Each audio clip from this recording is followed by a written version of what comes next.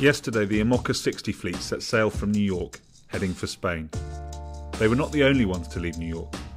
The race organisation team also headed towards Barcelona, where they'll be based for the next three weeks.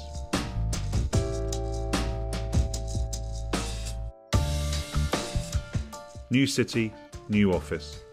The team took up residence in the Port Authority building of Barcelona. The offices are comfortable, which is very different from what the skippers will endure for the next two weeks. They will live in a Spartan universe. We'll share their life with you every day until the end of the race. Now, back to the race. After leaving New York in light airs, the fleet sailed upwind on the Hudson River before rounding the mark in front of the Statue of Liberty.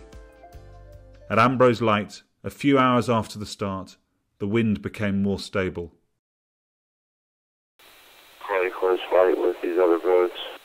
Safran got a little ways ahead of us uh, in the afternoon because they went closer to the shore than we did. But uh, since then, we've been um, we've been pushing hard to get back to them. We've, you know, at one point I think they were five miles ahead of us on the water, and we're down to three now, so that's good.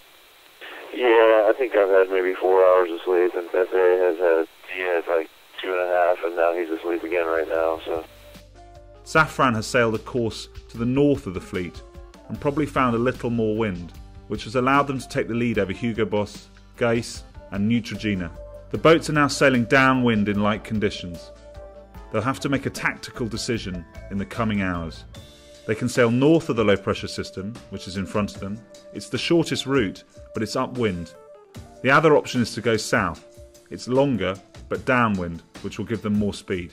Stay tuned. We'll know tomorrow if the fleet is split in two or if they've all taken the same option.